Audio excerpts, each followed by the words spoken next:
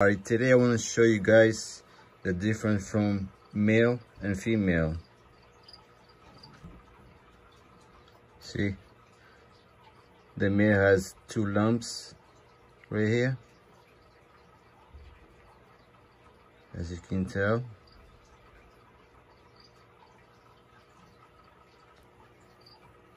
And this one will be a female as you guys can see. The lumps is is way smaller. So that's how you tell this female or male